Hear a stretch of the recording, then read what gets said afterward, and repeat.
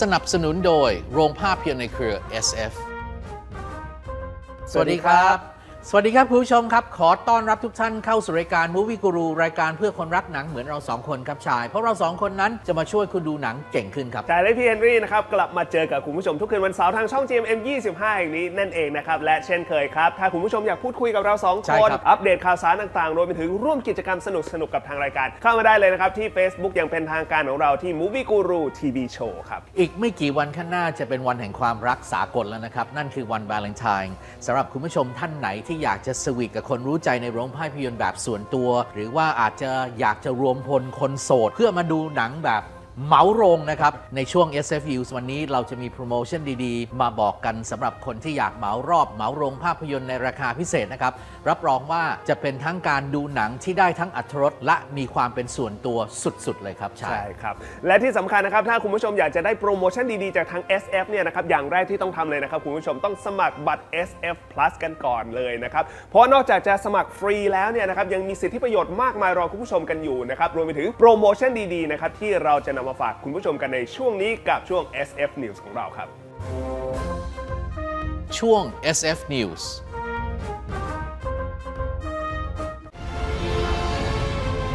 It can rewrite existence. กลับมาอีกครั้งกับภาพยนตร์ซูเปอร์ฮีโร่จากค่าย Marvel Studio ครับ คู่หูซูเปอร์ฮีโร่สกอตแลงและโฮปแวนไดน์นะครับ ที่หวนคืนสู่การประจนภัยอีกครั้งในฐานะ Ant-Man and the Wasp Quantumania พวกเขาต้องร่วมมือกับแฮงค์พิมและ Janet Van Dyne ครับ พ่อแม่ของโฮปรวมถึงแคสซี่แลงนะครับ ลูกสาวของสกอตซึ่งการร่วมมือกันครั้งนี้นะครับ จะทำให้พวกเขาได้เข้าไปสำรวจมิติควอนตัม พบเจอกับสิ่งมีชีวิตใหม่ๆ สุดแปลกประหลาด และร่วมหัวจมท้ายไปในการประจนภัยที่จะผลักดันพวกเขาไปจนเหนือขีดจำกัดที่คิดว่าจะทำได้ มันไปพร้อมกันได้ในวันที่ 15 กุมภาพันธ์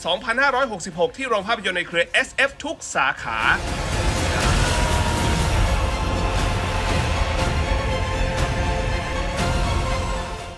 อกจากนี้ SF ยังเอาใจแฟน Marvel นะครับที่รอคอยภาคต่อของ Ant-Man โดยเปิดให้ซื้อบัตรชมภาพยนตร์ก่อนใคร แถมยังได้ของที่ระลึกลิขสิทธิ์แท้จากภาพยนตร์ เพียงซื้อบัตรชมภาพยนตร์ Ant-Man and the Wasp Quantumania ทุกที่นั่ง แลกรับโปสการ์ดลิขสิทธิ์แท้จากภาพยนตร์จำนวน 1 ใบ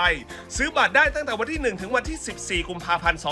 2566 ผ่านช่องทางแอปพลิเคชัน SF Cinema หรือเว็บไซต์ www.sfcinema.com และที่จุดจำหน่ายบัตรชมภาพยนตร์หน้าโรงภาพยนตร์ในเครือ SF ทุกสาขา แฟนๆ Ant-Man ต้องไม่พลาด ไม่เพียงเท่านั้นนะครับโรงภาพยนตร์ในเครือ SF ให้คุณเป็นเจ้าของโรงหนังดูหนังแบบส่วนตัวสุดๆเหมารอบเหมาโรงภาพยนตร์ในราคาเริ่มต้นเพียง 5,000 บาททุกเรื่องทุกรอบทุกวันทุกสาขา มีทั้งโรงปกติและโรงพิเศษ โดยโรงภาพยนตร์ปกติราคาเริ่มต้น 5,000 บาท เข้าชมได้สูงสุด 20 ท่าน หรือโรงพิเศษอย่างโรงภาพยนตร์ First Class ราคาเริ่มต้น 6,000 บาท เข้าชมได้สูงสุด 10 ท่านสำหรับโรงภาพยนตร์ First Class สำหรับใครที่อยากจะสัมผัสประสบการณ์แบบ Exclusive สามารถซื้อบริการ Service ใน Lounge First Class เพิ่มเติมได้นะครับในราคาพิเศษเพียง 450 บาทต่อท่าน ได้ทั้งอาหารเครื่องดื่มและป๊อปคอร์นคุ้มสุดๆ สามารถจองโรงภาพยนตร์ได้ในเครือ SF ทุกสาขาแบบส่วนตัวได้ตั้งแต่วันนี้ถึงวันที่ 30 เมษายน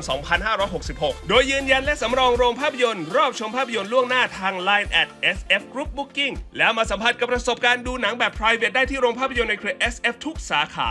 เช็ครอบฉายซื้อตั๋วหนังง่ายๆ ที่แอปพลิเคชัน SF Cinema หรือสอบถามรายละเอียดเพิ่มเติมที่เว็บไซต์ www.sfcinema.com และ Facebook Fanpage SF Cinema รีบๆมาดูที่ SF เพราะโปรดีๆ รอคุณอยู่อีกเพียบ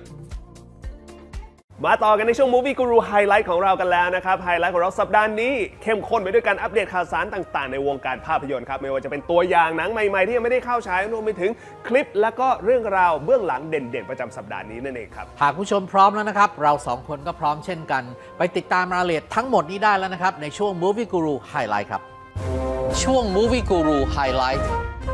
Hey, everybody, I'm James Gunn. หลังจากที่เจมส์กันในฐานะหนึ่งในผู้บริหารของ DC Studios ได้ประกาศโปรเจกต์ภาพยนตร์และซีรีส์ที่จะเกิดขึ้นในอนาคตมากถึง 10 โปรเจกต์ผ่านทาง Twitter ของเขาเอง หลายคนคงจะอยากรู้ถึงความคืบหน้าของภาพยนตร์ภาคต่อของ The Batman ใช่ไหมครับสำหรับภาคที่ 2 นั้นก็ยังคงเป็นภาพยนตร์ที่ไม่ได้อยู่ในไทม์ไลน์หลักของจักรวาล DC ครับ เหมือนภาคแรกครับ Matt Reeves ยังคงทำหน้าที่เป็นผู้กำกับการแสดงภาพยนตร์ ส่วน Robert Pattinson นะครับจะกลับมาเป็นแบทแมนเช่นเดิมครับส่วนภาคต่อนะครับก็ได้ชื่ออย่างเป็นทางการก็คือ The Batman Part 2 ครับ โดยวางเอาไว้นะครับว่าจะฉายในวันที่ 3 ตุลาคมปี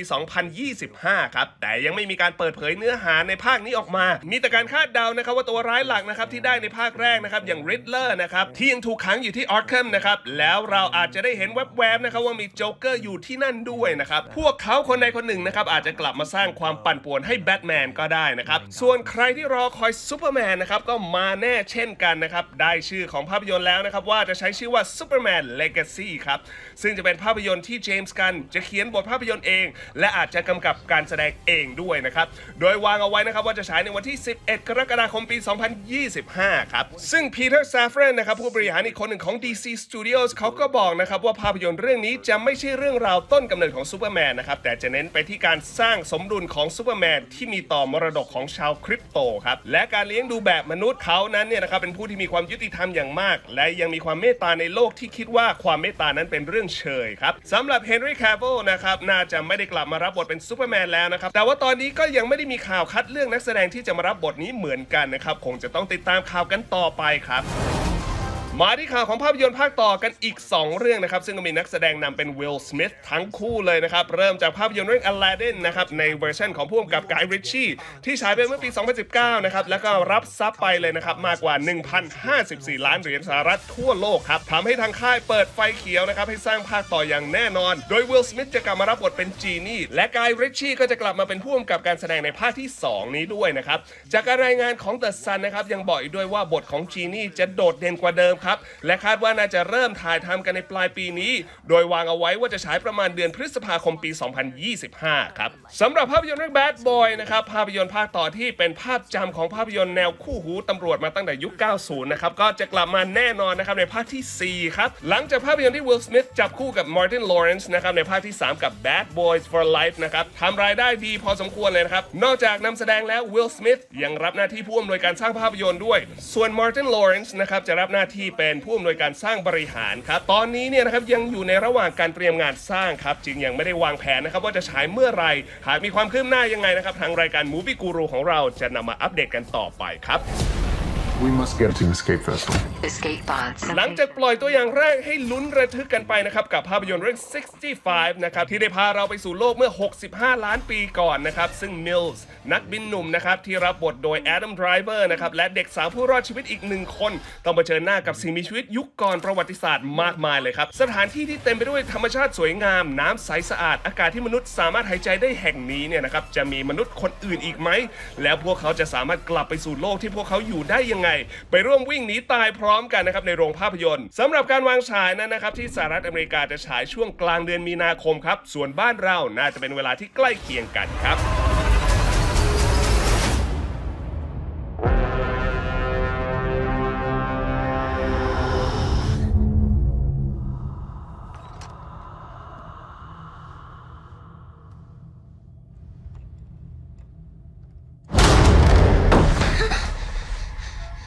ปิดท้ายกันกับตัวอย่างแรกของภาพยนตร์เรื่อง The Boogeyman นะครับ แนวสยองขวัญที่ดัดแปลงมาจากเรื่องสั้นของสตีเฟนคิงเจ้าพ่อนิยายสยองขวัญนนั่นเองนะครับ ที่นิยายของเขาได้ถูกนำมาสร้างเป็นภาพยนตร์ดัง ๆ มากมายเลยครับ คราวนี้นะครับเขาจะพาคุณผู้ชมนะครับไปติดตามเรื่องราวของปีศาจร้ายที่แอบอยู่ในความมืดเพื่อตามรังควานเด็กหญิงคนหนึ่งครับจริง ๆ แล้วนะครับปีศาจร้ายตนนี้มันแอบอยู่ในบ้านหลังหนึ่ง และก็ตามรังควานสองพี่น้องที่มีพ่อเป็นจิตแพทย์ และเขาเพิ่งสูญเสียภรรยาไปนะครับเขาจึงละเลยลูกทั้งสองคน และไม่รู้ว่าจะเกิดอะไรขึ้นกันแน่นะครับ แต่กลับมีคนป่วยคนหนึ่งนะครับ มาเตือนเขาว่าลูกสาวของเขาอาจจะเป็นเหยื่อของสิ่งมีชีวิตที่แปลกประหลาดครับสำหรับภาพยนตร์เรื่องนี้นะครับจะฉายที่สหรัฐอเมริกาต้นเดือนมิถุนายนนี้ครับ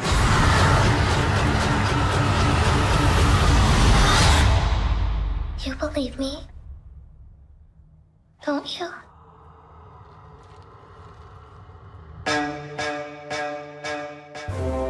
สนับสนุนโดยโรงภาพยนตร์ในเครือ SF